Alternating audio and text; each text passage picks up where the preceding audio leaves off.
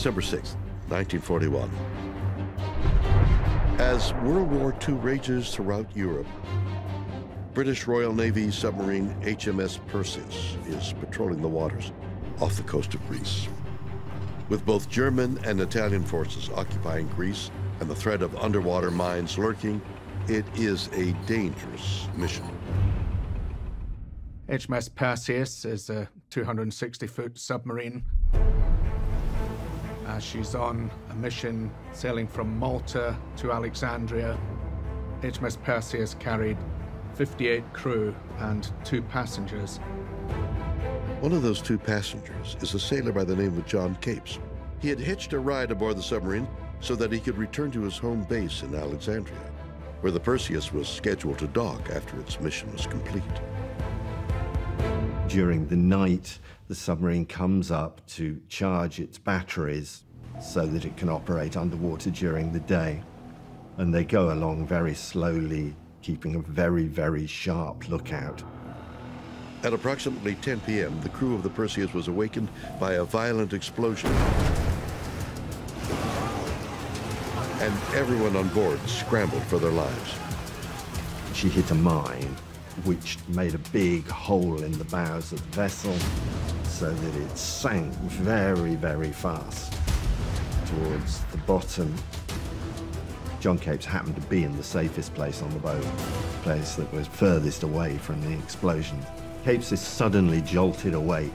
He kind of gets himself together, realizes what's happened, and he goes forward to see what he can find. With only moments to spare, Capes has to act fast. Fortunately, he finds a potential lifeline in the form of an emergency escape suit, which is designed to protect sailors against the effects of water pressure. Exiting the submarine at a depth of some 170 feet, Capes and one of the crew's sailors desperately attempt to make their way to the surface. As if surviving both the explosion and death by drowning weren't enough, the tremendous weight of the water leaves them vulnerable to a potentially fatal condition dreaded by deep sea divers, known as the bends. The bends is similar to opening up a can of soda. When you open up a can of soda, the gas that's in the liquid, which is carbon dioxide, all of a sudden starts releasing, bubbling to the top of the can of soda. So the nitrogen that's in the body does the same thing. So when you ascend too fast, the nitrogen that's built up in the body tries to escape. And this can bubble out into any of the organs, including the heart, the brain, the lungs. It can cause malfunction. It can also kill you. Even though his escape suit was not rated to handle water pressure deeper than 100 feet, John Capes's will to survive was formidable. In spite of everything, including the bends, he made it to the surface, alive. Capes made quite a swim. I, I think it was about six miles or so swimming.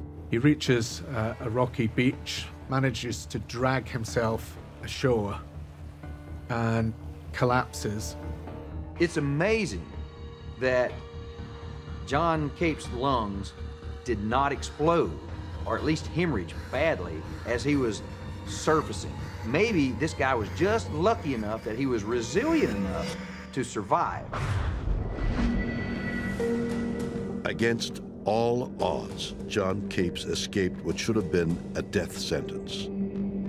He defied everything we know about both human physiology and the laws of physics. But how?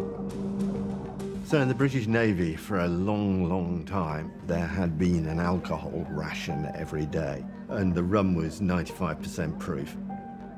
And in order to settle his nerves, John Capes took a big swig out of his rum bottle. So I guess by the time that John Capes was actually leaving the submarine, he was more than a little bit drunk. Actually, drinking alcohol might have helped him out. It could have lowered his blood pressure a little bit, and it could have actually kept him calm. Both of those are things that you may need in this type of situation. You need to remain calm in an emergency, and your blood pressure was going to get really high at some point. And so if you have a way to artificially bring it down some, I suspect that helped. Unfortunately, John Capes' story was so remarkable, so inexplicable, that many people didn't believe it was true. They even went so far as to question whether or not he had ever been on the submarine in the first place. People didn't believe that you could survive that, that escape from uh, 170 feet, so there were all sorts of people cast doubts on John Capes. And it wasn't until nearly 50 years later, when divers discovered the wreck of HMS Perseus, that there was the hatch opened and John Capes' story was at last validated. And his, his behavior and his courage was rewarded.